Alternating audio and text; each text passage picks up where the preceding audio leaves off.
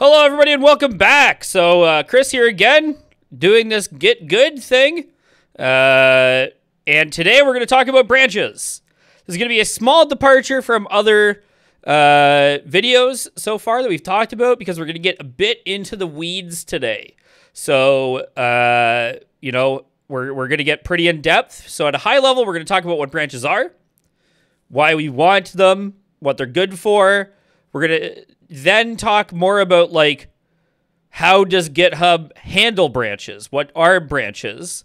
We're going to talk about how the Git history relates to branches and how we can use that information to ensure that the changes we want wind up where we want them. And then we're going to get into, you know, uh, actually how do we use a CLI tool to work with branches. So uh, I've created a companion repository uh, for this video that will be posted in the description, of course. And uh, yeah, so let's just get into it.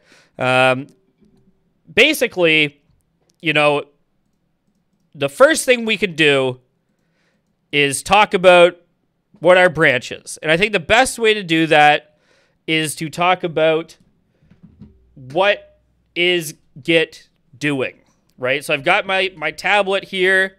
I'm I'm you know, I'm using this for the first time for this video. Uh, like I'm, I'm using this for a video for the first time. So uh, please let me know if you if you think this is a good idea or or you're you're like nah nah man. So anyway, first things first, you might notice like every time we look at GitHub, every time we look at our our repositories in GitHub, like let's just make an example, right? So first of all, we can see this little thing that says main, right? Branch main. And you you remember when we set up in the initial setup video that like we talked a lot about, you know, changing our config so our, default branch would be called main. It says we're on branch main a lot, right? So like let's just clone this. So if we do a git clone and then let's put the SSH address, right? Uh, we see we okay, so we're we're cloning into git good branches. Very happy about this. Uh, let's ensure that it's there in our uh, local directory. It sure is. So let's cd into it. cd git good, uh, and then branches. And then I'm just going to clear the screen. So this is near the top. Let's look at what's in here. We see the README. Uh, if we L, if we ls a, we can see that uh, the classic, right? This is the Git uh, directory. So we're in a Git repository, a local Git repository. And then this is the thing, right? We see this on branch main. And then this is just a thing that my particular uh, terminal does, but like your, yours might not, but it tells me I'm on branch main, right? So, okay, so, but where did this branch main thing come from? What, and what is it talking about? So that's what we're going to get into today. Um, so again, back, back to the, to the drawings here. So essentially we can look at Git like this, right? There is this record of all the stuff that's happened in our repository and it's it's it's it has these commits you know? So this is like our initial commit you know? This is usually things like your readme you know whatever. This is when you start the repository right? And what we could do is we can look at our commits on the side here to kind of have another view of them as we're walking through the uh, the visuals. So we've got this thing, and it's called main, and it has these commits.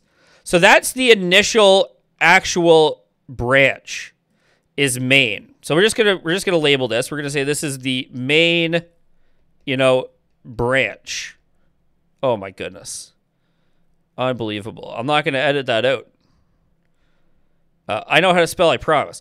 So main branch. That really looks like main branch. There we go. So this is the main branch, right? And so what does that mean? Well, it's you can think of each branch as just a series of commits, right? So we see on this one we have these three commits.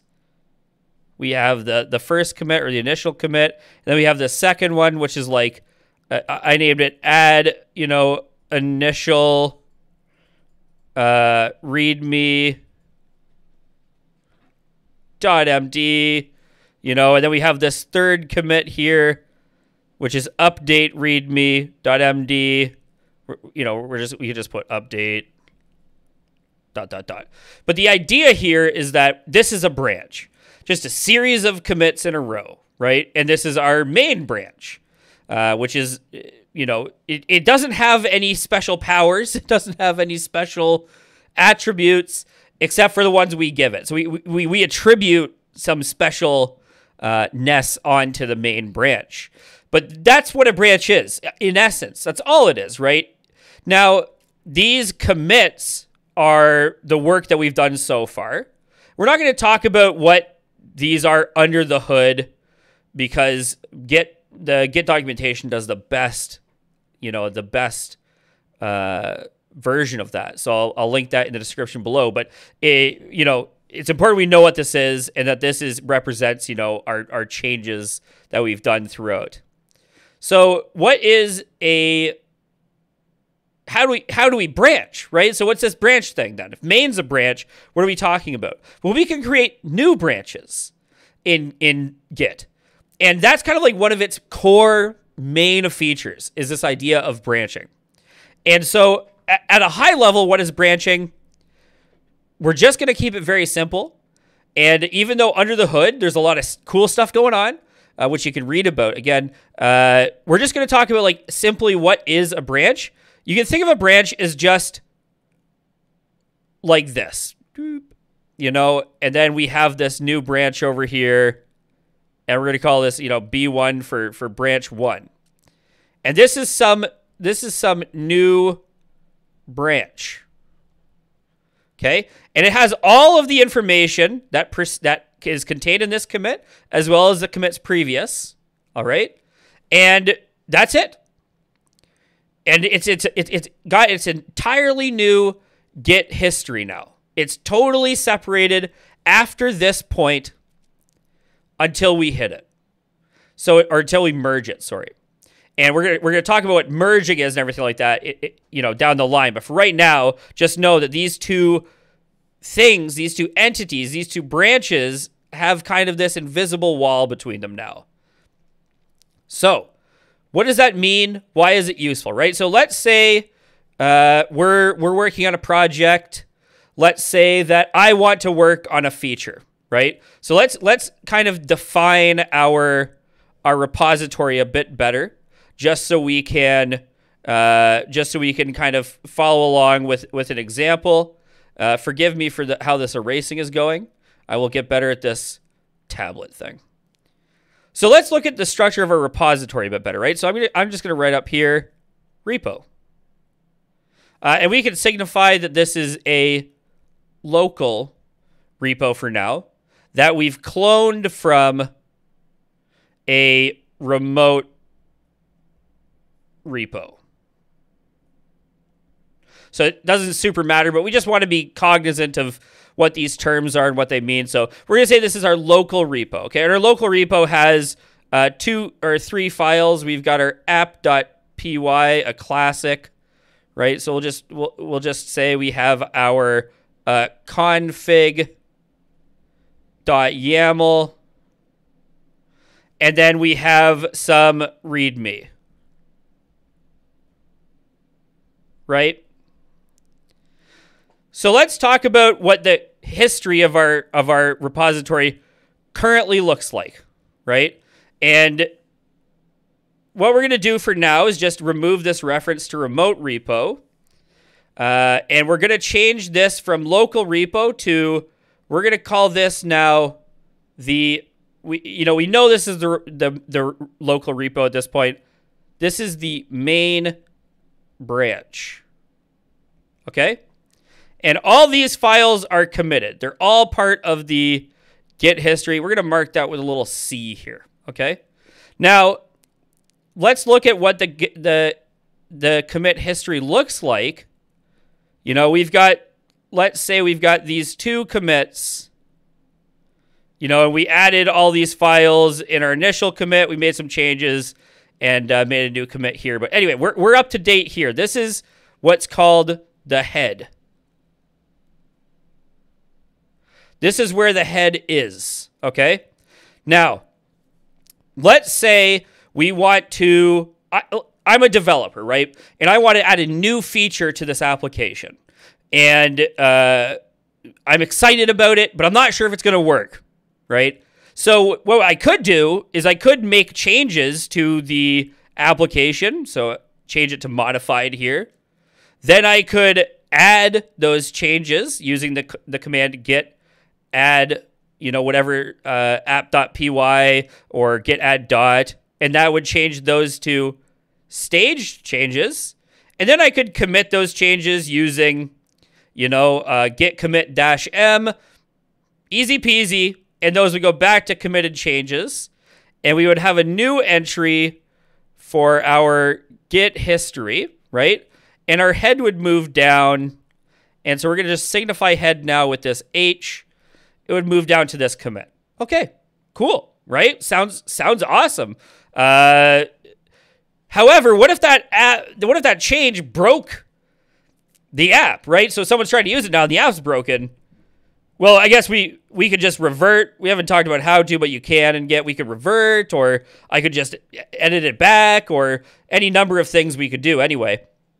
But the idea here is that we we we made changes to our main branch, right? We were working on our main branch, and so we committed them.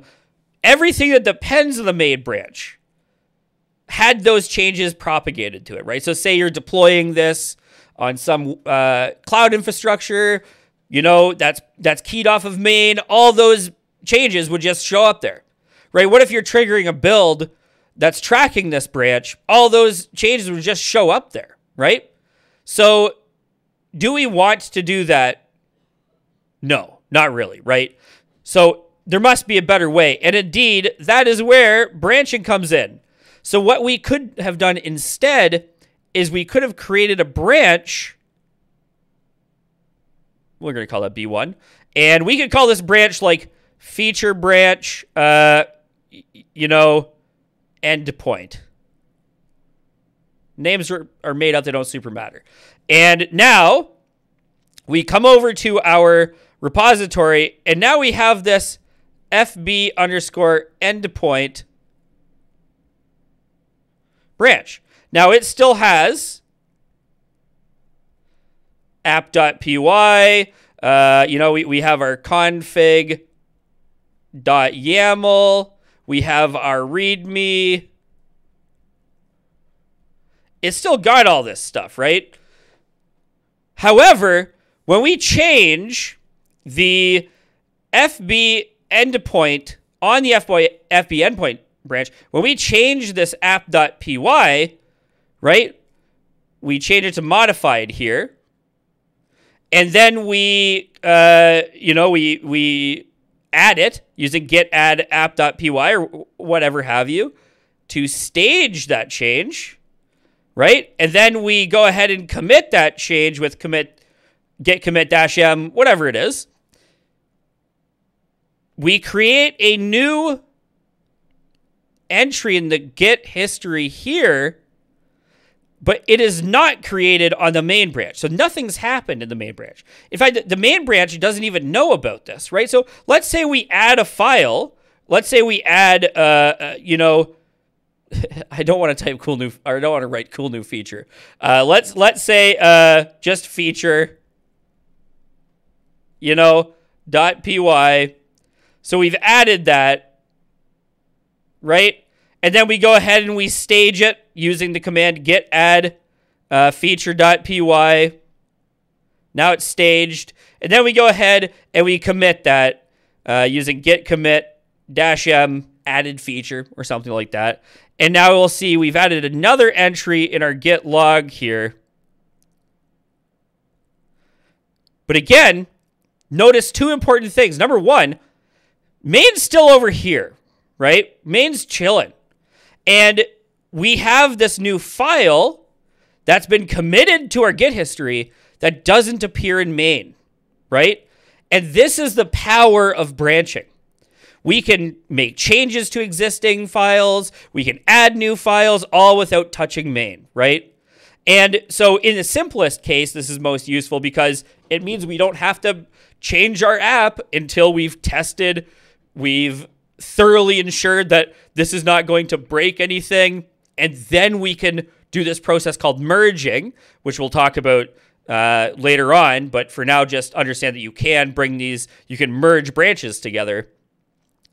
We can we can do that once we're sure functionality and bugs are taken care of on that on that feature branch, right? So this is the power of branch development. Also, we can uh, branch off of branches. We can have two branches uh, from the same thing at the same time that two different people are working on, right? So I could be working on app, you could be working on app, and we and we're not touching main, right? There is one very important thing to note about this whole process, which is that Git only cares about what's in the Git history. So let's say, let's just talk about an example real quick, right? So let's say we add another file, okay? And that file is just called like uh, feature feature underscore one dot py because we're in we're incredibly creative developers. Now, if I were to switch to my main branch in Git terminal, this would come with me. Right? Because this isn't the Git Git history has no knowledge of this. We never committed it, right? And you, you might say, okay, so but what what if? Uh, hang on, Chris. What if we just stage it? And then what if we switch back to FB endpoint? Well, it's going to come with us again, right? Because we again we haven't told, we haven't committed it. This is this is one of the most important things when you're getting started with Git to realize is that the Git history doesn't know about your file until you commit it there's lots of checks in place to make sure you don't, you know, break stuff. And there gets a smart enough tool that it's going to tell you uh, some of the times that some of these things are happening. But when you're swapping branches, if you've never put that file into a Git history, it's just going to come along for the ride until you commit it. So always be sure before you move on, always be sure to commit whatever you're working on to the branch you're working on before you swap back to another branch.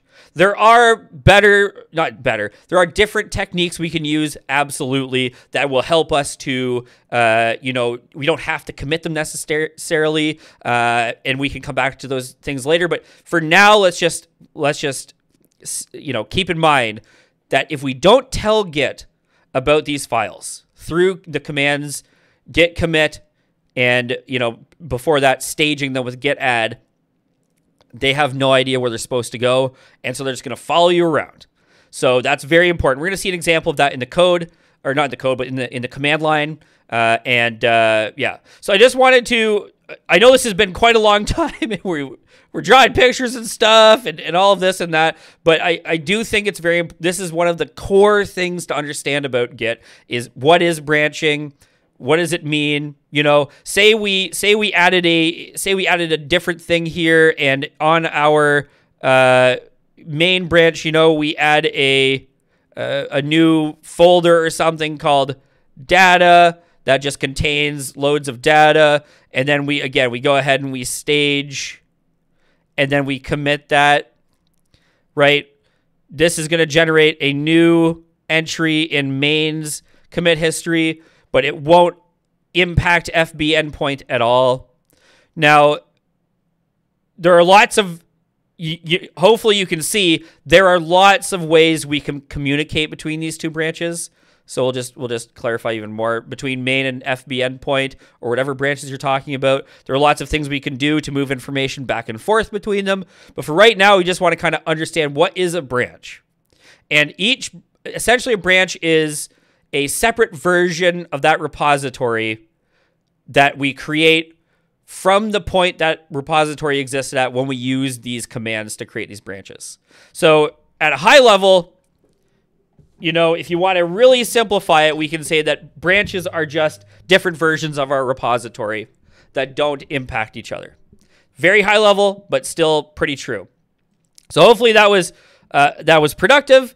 Uh, let me know if, if if drawing things or whatever is is you know, uh, something you'd like to see more of or not. But yes, that is what Git branches are. That's how they work. Um, that's all we need to know for right now. So let's actually get into an example. So we're on, we're in our repository. We can see that here, that we're up to date, uh, and we're on the branch main, right? So that's that main trunk we you know you, you, might hear referred to but that's the main branch of the repository that's this thing right here and if we check our git log you'll see we have the same commits in the same order as we do on github because again that's this github page is just our remote repository so let's see how we actually create branches now i'm going to go ahead and start with the new commands because I think they're way more uh, reasonable and understandable than some of the old commands. But we are going to touch on the old commands because they are important. Uh, you know, they they can do cool stuff too, and you might be used to that terminology. But we're going to start with so how do we make a new branch? Well, we use a command called git switch. And what git switch does is if we look in the git git help switch, we can see it switches branches, right? It has this particular flag though, this dash C, uh, which is going to create a new branch. So what we can do is we can say git switch dash C feature, right? So what this is, what this command means when we break it down is we're going to git switch, and then we're going to switch to a branch called feature that we create using that dash C flag. We could also use dash dash create feature, right? So, but for now, we're just going to stick with dash C, so feature fits on the same line. We do that, and we see this text switched to a new branch feature. Perfect right? So, okay. So, how do we tell what branch we're on when we're in our repository? You know, you might have a, a, a command line uh, interface tool or a terminal that shows you this information, or you might not. So, how do we do it if we can't see it just, uh, you know, just through our terminal? We can use git status. We can see we're on branch feature. We can use the command git branch, which will indicate to us that we're on the feature branch by saying feature in green and then having this asterisk near it. Great stuff, right? So, and that's all it takes to, to make a branch. And what if we want to switch back to main? Git switch. Now we don't have to create main. It already exists. So we just leave that flag out. Git switch main. Switch to branch main, right? Git switch feature. We've switched. It's really that easy. you know, it's all the stuff with the histories and everything is like, what is happening? You know, but the actual in practice gets handling that all behind the scenes, right? So let's do something awesome, right? Let's add something to this feature branch. So let's add, uh, uh let's just add feature.py, right? Why not? Uh, now, if we do our git status, we can see that feature.py is untracked. So the feature branch doesn't know about this yet, right? So we have to commit it. We have to tell Git that this feature.py is supposed to be on the feature branch. So we'll just do what we've already done before. We'll git add feature.py in git status when we check. Just I'll just clear my screen, rerun that command. So in git status when we check, you'll see there it is. It's been staged. It's ready for commit. So we git commit dash m and we're just going to say adding cool new feature. There you go. It, it, it did it. Let's check the git log. In the git log, we can see right at the top here, adding cool new feature. That's awesome. Now notice, we have this information that says origin main, origin head, and main are all on this commit, but we're way over here on this commit, right? We're, we're having a great time up here on this commit. So this is another way to show us that those other branches have no idea what we've done here, right? We'd have to tell them. So Let's check our Git status, make sure our working tree is clean. It sure is. We don't have anything untracked. We don't have anything modified. We are ready to rock. Now, let's add a dangerous new feature. So we're going to say touch dangerous feature.py. Okay? And I'm just going to drag my terminal over a little bit here so these commands can all be on the same line. So we have created a dangerous feature. When we look at our repository, we can see it right here, dangerous feature. When we look at git status, we can see it, dangerous feature, right? So let's say we're careless and we decide we don't need to tell Git about this. We added the file on the feature branch, so it must be on the feature branch. So let's try it. Git switch main. Okay? And then let's do a git status. Well, the dangerous feature came with us, right?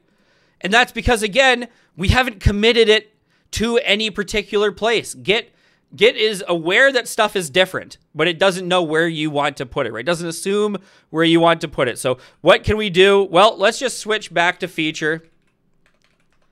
Let's add the add the uh, git, you know, git add dangerous feature. So now we're we've staged this, right? And so we can see here, okay, so file to be committed. Does that protect us now? If we go back to git switch main, so we're switching back to our main branch, right? Did that protect us? And the answer is no. Because staging it just says we're going to commit it. You know, hey, get keep track of this in this state. We're going to commit this, right? Or we want to commit it in this state at some point. But it doesn't tell it where to commit it, right? It doesn't say where it's supposed to go. So we're going to switch one more time back to feature and we are going to commit that feature, uh, adding dangerous, uh, dangerous feature. We go ahead and commit it, and now we check our git status. We see our working tree is clean. We ls, we see the file dangerousfeature.py is there, and when we git switch back to main, and we ls, we see that there is no dangerous feature. There's just the README. When we use git status, we see that there is no dangerous feature. And even better, when we go to git log, we have no knowledge of any. We made two commits to that feature branch, right? Two of them. We have no knowledge that they've happened in main. Main's unaware of them, right? And this is the power of branch. This is the uh, incredible power of branches in Git and on GitHub. So let's just look at one more thing. So I'm going to show you guys how we can use kind of the old school commands to move around, which is with git uh, checkout feature. You can think of it like checking out a book. So we're, you know, we're checking out a book, we're checking out a branch, uh, and then we can get back to main with uh, git checkout main. We can create branches with git branch and then branch name. So if I say feature v1 and then I look at my git branch command, you'll see that I've created a new branch called feature v1, which we can then check out using the command git checkout feature v1. And again, we can look many different places to see what branch we're on. In this case, we use git status to see we're on uh, branch feature v1. Uh, now, let's go back to main using the switch command just because I feel like it's a little bit easier. And let's go ahead and remove that feature v1 branch with the command git branch uh, dash d for delete, uh, and then the branch name we want to remove. So that's git branch and then dash d for delete feature v1. And that's the branch we want to remove. We can see that that does delete that branch. Now, if we try to git switch to feature v1, you'll see invalid reference. What is feature v1? Never heard of that guy. Uh, and when we look at git branch, we can see there is no more feature v1, right? So what if we wanted to, using the old school terminology, what if we wanted to make a branch and check it out? Well, we can use git checkout dash b for branch. Uh, and then we can say, you know, feature v1 just to keep things consistent. And again, just like git switch dash C, this is going to create and then switch to the branch we've created.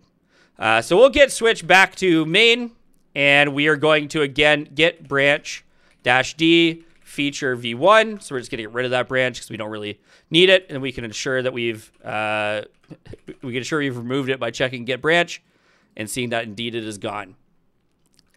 Let's look at one more example before this video ends. I know it's super long, but uh, branches are kind of like one of the core parts of uh, Git. So uh, please uh, forgive me for taking up so much of your time, but really think it's important to to to know this stuff well and to understand what's happening. So let's we're let's first of all let's just check we're on main. We can check that with Git status or with Git branch. We can see that we're on main. Let's create a file called you know cool feature.py. Let's look at our Git status and see that it is untracked.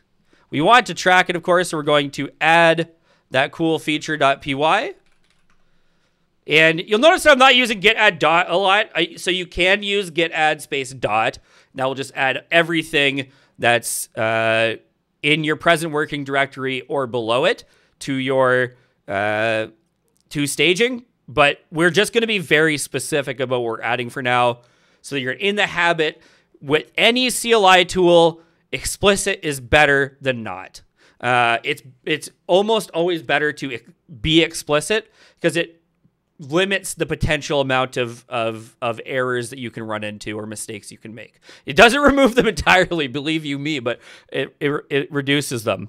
Now again, we know that this is not yet committed. It's just been staged. We added it, but we didn't commit it, so we have to go ahead and commit it. And we're just going to say, you know, adding uh, you know, coolest feature.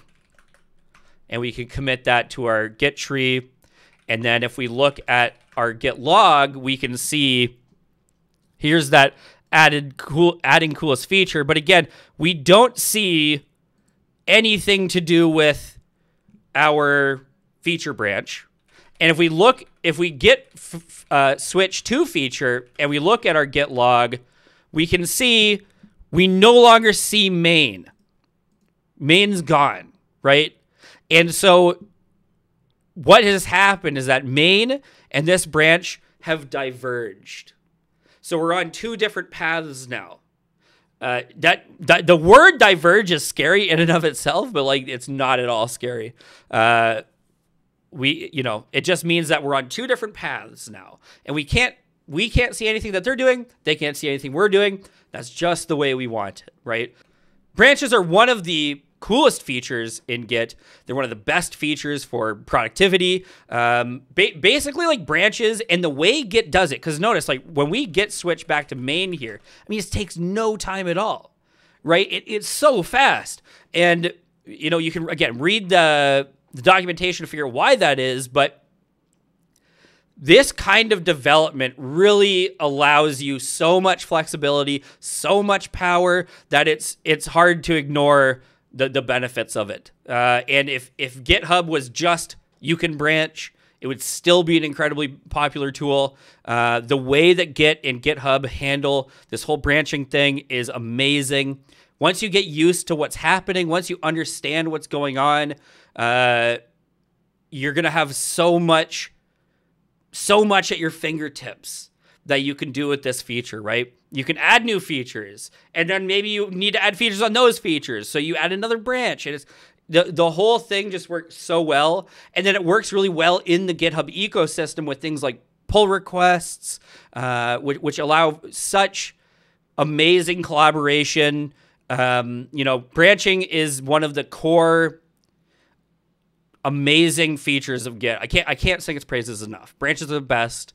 Uh, use them, get used to them. They're incredible. They're amazing. Wow. That's I'll stop hammering on about it. But uh, this is a longer video. But again, we really want to drill down into what is a branch, what is it doing, what happens in the branch, right? Uh, how does it relate to this idea of a commit history? We're kind of expanding on that as we go through these. Uh, so again, uh, thank you very much for for your time. Uh, there's this repository we can move through creating a branch and using the switch command. uh, or using the old method of checkout or git branch. Um, so go, ahead and fork this repository, clone it, and then add some branches, right? And just play around with the branch feature. Add some files. Uh, see see see how that works for yourself.